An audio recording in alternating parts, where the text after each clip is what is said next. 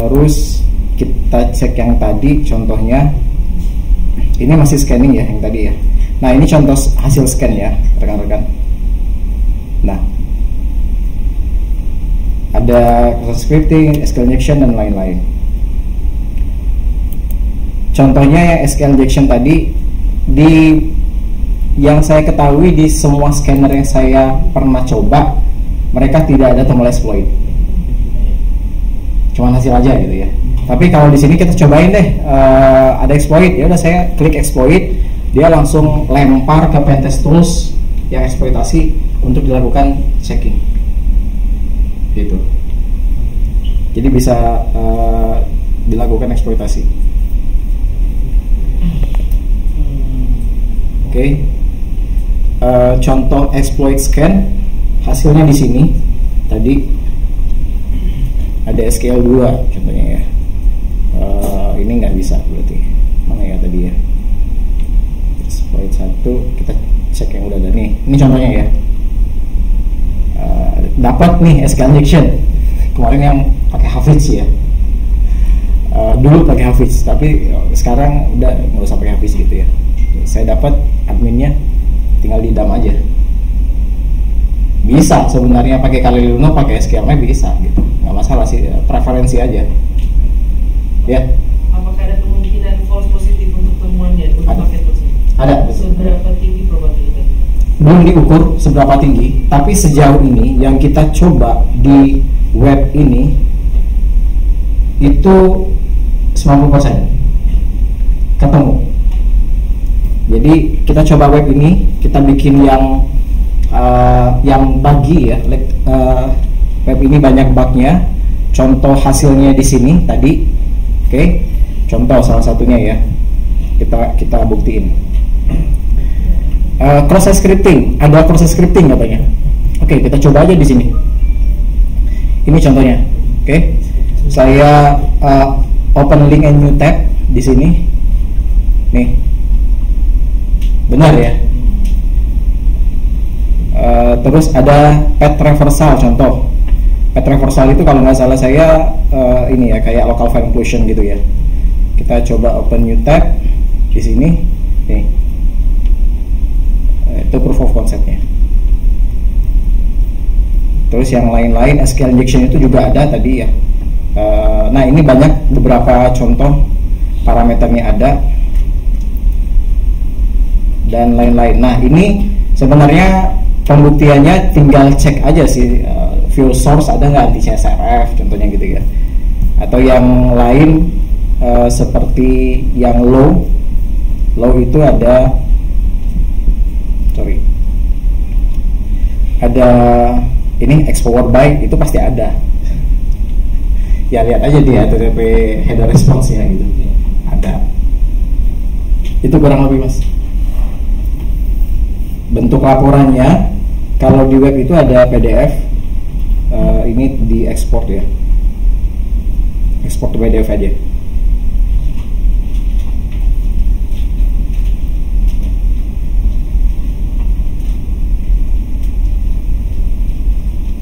Wah ini saya belum ganti pak. Logonya. Tadi white label ya. Uh, bentuknya seperti ini berat nih urusannya. Kayaknya dulu presentasi di BSSN kayaknya. Ya jadi ada deskripsi uh, banyak deskripsinya ada solution ada instance instance itu proof of conceptnya dan ada reference. Gitu. Nah ini contoh yang telegramnya. Saya tinggal scan aja sih uh, new scan gitu ya. Nih. Ini contohnya. Saya copas aja dah. Banyak kan tuh tinggal cek di dashboard aja. Gitu. Gitu kurang lebih. Mas itu tadi menarik yang komparasi sama Tenable One itu kalau ini dikomparasi sama Tenable Tenable-nya Nessus Nessus Oh, Nessus. Nah, Tenable-nya Nessus 11 12 belum yang Nessus. kalau secara web web aplikasi ya, ya. karena kan uh, toolsnya banyak juga ya yang Tenable ya. Yang ini Nessus spesifiknya. hmm. Gitu Ya kalau mau lihat fitur bisa cek di sini aja sebenarnya. Beda-beda kan, fiturnya beda-beda ya. Nah ada XSS hunting juga. Pernah coba XSS hunting nggak? Ya kan proses scripting tuh kita nggak tahu eh, ini jalan atau enggak uh, XSS-nya. Ya udah kita pakai eh, XSS hunting gitu. Eh, nyobain ternyata dapat adminnya misalnya gitu ya. Itu bisa. Gitu kurang lebih. kita nanya lagi Ya, nanya lagi untuk undang Sip. ada, ada kok kita punya training pentas 5 hari. Kalau Oh, aja mas laporan dia sama AI. nah itu dia Tapi ini masih nanti. Iya. Ya. ada nih aduh Aduh, laporan dia. namanya.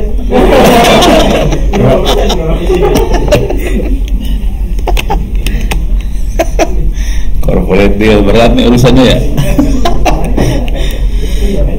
Udah gue masuk juga sih akhirnya gue tadi cek password gue udah bisa masuk. Oke. Deh Eh, tadi masih mana? Jadi ini urusan pentest VA udah jelas toolnya ada. Eh, kalau mau gampang bisa pakai Helium dan teman-temannya kalau mau agak susah bisa pakai Kali Linux nah eh, secara umum kayak gini ya. Nah, tinggal masalahnya solusinya. Ini ini pertanyaan tadi pagi. Pengen dilihat gimana cara orang nyerang, deteksinya gimana, udah gitu eh, mungkin juga tadi laporan udah kelihatan eh, waktu pentest eh, pakai PDF BSSN keluarnya. Nah, terakhirnya eh, solusinya apa buat buat urusan kayak ginian nih? Solusinya apa? Se- eh, saya kasih lihat hackernya. Misalnya ada hacker di sebelah sini nih, hacker masuk nih hacker. Hacker masuk.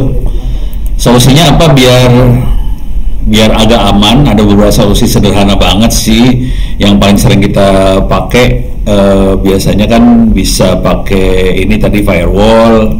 Paling gampang lah firewall. Oke terus eh, solusi yang lainnya adalah eh, cuman firewall itu kan tadi ya kondisinya semua traffic HTTPS. Jadi firewallnya susah-susah gampang nih urusannya di sini. Terus di sini kita bisa ganti juga IDS-nya jadi IPS. IPS eh, Intrusion Prevention System eh, yang akan merubah eh, kalau ada yang kedeteksi dia akan ngomong sama firewallnya kira-kira kayak gitulah. Oke. Terus nanti yang satu lagi adalah kita ngomong sama app developernya, eh, tolong dong disanitasi inputnya apa kayak gitu. Kira-kira kayak gitu sih solusi-solusinya, solusi sederhananya ya. Kira-kira kayak gitu. Oke. Sekarang saya akan coba. Ntar, kita mau break jam berapa? Ya, ya. dari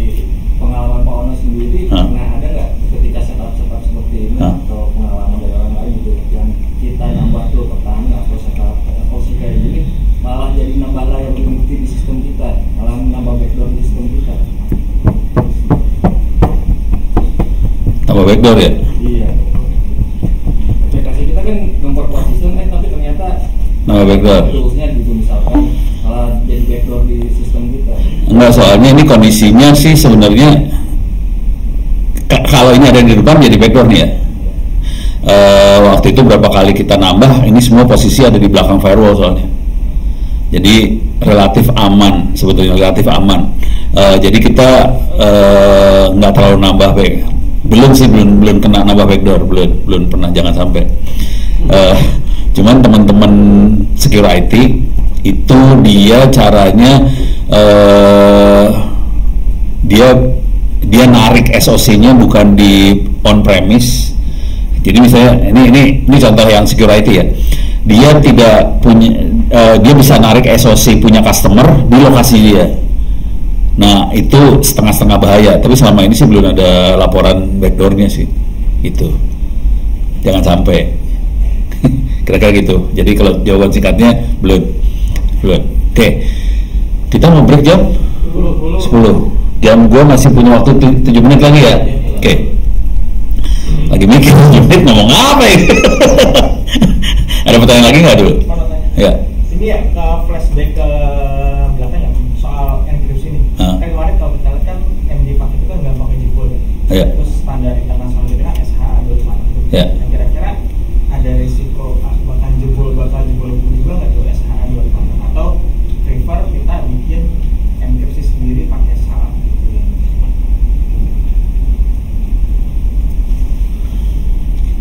belum ada laporan sampai segitu jauh ya. Gue lagi susah jawabnya nih. Jujur dulu, Eh, sampai jebol sih kebanyak kalau teman-teman ya jebolnya bukan karena enkripsinya sih kebanyakan. Jebolnya misalnya lebih ke social engineering atau private key atau apanya key-nya keambil. Misal misal anak-anak nih anak-anak suka brengsek-brengsek kan kadang-kadang. Eh, anak-anak sembarangan naruh gadget atau apa atau laptopnya taruh sembarangan di tempat kerja kebuka. Eh, udah gitu orang bisa akses ke situ. Nah kejadiannya yang itu ini ini cerita cerita di security lah teman-teman semua. Teman-teman kita juga ya Gildas dan teman-teman. Di security itu kejadiannya suka anak-anak suka jahil-jahil gitu kan. Ini anak-anak developer semua anak-anak cyber security semua. Di antara mereka suka uji nyali sih misalnya. Misalnya kalau ada yang lagi abai eh, handphone tergeletak laptop tergeletak kagak password udah tuh dihajar itu antar teman jadi jebolnya di situ sih kebanyakan bukan dari si teknologinya kalau laporan jebol teknologinya saya belum dapat soalnya itu kondisinya sementara ya sem- sementara ya mudah-mudahan ya Kalau eh, kalau di kita kan biasanya pakai tool-tool yang security yang berbayar pokoknya. Iya. Misalnya kita mau coba mungkin ngajuin kayak tools kayak Snowball, Wazoo gitu kan. Iya. Kan kadang meyakinkan manajemen itu kadang susah ya Pak. Maksudnya eh, itu oh itu open source banyak celahnya gitu Oh, kan. ya. Eh, Alumni Nurul Fikri kok. Alumni Nurul Fikri. terus gimana gitu kita juga kalau di kita juga kan pikir oh iya juga ya maksudnya gimana cara memanage nya gitu pak maksudnya Ya. kadang kan ya ini juga kita ngamanin security tapi ya open source yang memang orang-orang udah tahu semua celah-celahnya ada di mana. Ini bukan rahasia dulu deh. Eh, ini anak-anak security. Udah tahu security sih bener security. Sama eh, cyber army. Banyak sih perusahaan-perusahaan kayak gitu. Ini gue kasih lihat lah. Yang kalau Gerindra mah di cyber army ya. Cyber eh tulisnya salah. Cyber army. Eh, .id itu Gerindra satu lagi yang saya kasih lihat secure IT security.id eh mana dia? Security.id apa .com ya? Kok jadi cuma LinkedIn aja? Ada websitenya kali. Oke, gue masukin sini deh. Apa .com bener kali weh Oke, ini Cyber Army, Cyber Army, eh ini security. Kalau kalau Cyber Army kebetulan saya nggak masuk sampai dalam R&D-nya ya. Kalau yang security gue masuk sampai dalam R&D-nya. Ini jujur, gue bukan rahasia dulu. Software open source. Jadi software open source, cuman dia kayak jadi kalau anda mesen, jadi ngomongnya ke security-nya sih sebenarnya. Jadi kita nggak pakai open source-nya langsung. Jadi ada vendor yang jadi bempernya lah kira-kira. Jadi dia jadi bempernya. Kalau belakangnya sih open source sih sebenarnya. Cuman open source-nya dimodif, modif habis-habisan. Asli, di as- aslinya open source itu dimodif habis. Gitu, supaya lebih bagus lagi. Gitu. Jadi jadi bukan plain open source yang kita propose gitu mas. Bukan. Jadi dia jadi endorse-nya gitu. Iya. Tapi kalau lihat dalamnya open source sebenarnya banyak open source-nya, banyak banget open source-nya. Kayak tadi eh, kemarin kan saya ngasih lihat yang itu ya apa sih namanya Eh, Palapa segala macam. Palapa itu basisnya Signal, Signal itu open source sama dengan WhatsApp pakai itu juga sama, cuma dimodif habis gitu. Tapi kalau dari pengalaman Kono ya Pak, Hmm. maksudnya dari produk yang Secure ID ini dibandingin kayak F5 terus Palo gitu ya, eh, maksudnya apa apa yang Brandnya ngeri nggak ya? Serem ya, serem ya. Saya. Susah Pak. Ya, maksudnya apakah memang pengalaman ya Pak ya maksudnya lebih lebih lebih produknya lebih aman Bawa maksudnya eh, yang ini lebih banyak celahnya dibanding kalau jadi ini, ini bukan rahasia lah bukan rahasia. Saya kan suka di, diminta sama anak-anak kominfo juga nih. Kominfo mereka pengadaan barang buat blokir situs forum apa segala macam. Eh, solusinya ya F5, Palo segala macam. Oke? Sa- kalau security mereka targetnya lebih bukan ke kominfo sih targetnya lebih ke Mabes. Soalnya Mabes lebih kritikal lebih sensitif banget. Mereka nggak mau mereka agak ngerem-ngerem dikit kalau pakai yang luar serem sih ada kisah serem gue buka kerahasiaan lah kisah seremnya ya? Hah? Enggak, enggak, enggak. Mereka, mereka, mereka lebih sering low profile banget. Mereka nggak mau keluar. Sering kali yang munculnya bukan security-nya sih sebenarnya. Jadi pas keluarnya ada vendor lain. Kadang-kadang yang munculnya F5. Kemarin yang itu munculnya F5. Belak belakangnya security. Jadi bisa kayak gitu sih kadang-kadang. Soalnya masalah di kebanyakan vendor-vendor juga masalah di manusia. Kan mereka jualannya alat, Iya. tapi supportnya kadang-kadang harus dari lokal ini mereka juga kekurangan orang. Iya, iya. Akhirnya yang support segala macam anak-anak security lagi. Gitu. Jadi kadang-kadang nge-sub kontrak. Nah, kalau yang di Mabes kisahnya adalah si security IT-nya bikin produk kepaksa. Jadi bikin produk, tapi bukan buat urusan yang kayak F5 banget. Eh, ya security juga, appliance, bikin kayak gitu. Nah, kisah yang horornya, ini contoh kisah horor ya, kisah beneran ini di Mabesat, Mabes Angkatan Darat nih. Mereka pengadaan laptop nih, pengadaan laptop ya, eh Mindo kan biasa ya, bagus jalan. Begitu anak-anak kan merah putih dong. Ini bukan security, bukan anak security nih, ini anak-anak Linux merah putih semua. Ngomong dong sama kepala dinas infolahtanya itu ya, gimana kalau kita bikin sistem operasi sendiri? Oke kita coba gini gini. Kita bikin lah Linux kan gampang ya. Kita bikin Linux di format nih. Pas ke format laptopnya harddisknya ada dua. Oh. Bongkar deh laptopnya. Ketemu nggak? Nggak ketemu. Obok obok obok nggak ketemu. Harddisk benernya cuma satu. Cari ketemu akhirnya ada kayak chip di bawah. Ini apa sih namanya? Baterai. Makanya boleh pada mikir sekarang mereka tuh. Kalau produk luar mikir asli apalagi Israel mikir mereka. Gitu. Mungkin kalau asal sama teman-temannya enggak ya. Kalau militer mikir. Gitu. kita beberapa kali lihat kayak gituan dan khawatir gue ngeliat anjir gila keren negara kita diobok-obok udah itu yang paling bang, bajingan bangsat deh kemarin kejadian. Diundang no bisa datang sini nggak? Datang. Ini pengadaan buat crawling apa ngecek media sosial. Softwarenya harganya sekitar 9 m nih. 9 m. Speknya kayak gini. Satu file doang spek. Anjir satu doang harga 9 m. Vendornya mulai nah, mereka mainnya parah. gitu gitu sih. Jadi bukan ya kalau ya kita plat merah kita jadi bumper urusan eh, head to head ya kalau nanti pakai efek segala macam kadang-kadang orang supportnya ya kita kita lagi sih.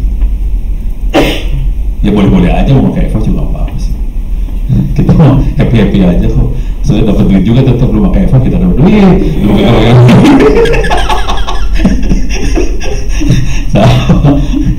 Eh, cuma beberapa kali saya interaksi gitu kuncinya di manusia sih bukan di produknya akhirnya. Jadi mereka sering kali nggak punya orang juga akhirnya pakai kita kita juga gitu. Ini cerita di balik layar ya. Direkam lagi parah nih gue kondisi parah oke ya udah jam 10 Bentar, ini ceritanya udah beres semua ya. Oke abis ini kita praktekin kalau gitu. Coba kita praktekin kita ambil beberapa contoh terus kita coba praktekin. Eh, kita break sampai jam? 18. 10.18 Oke Ngikutin situ aja deh 10.18 Break Oke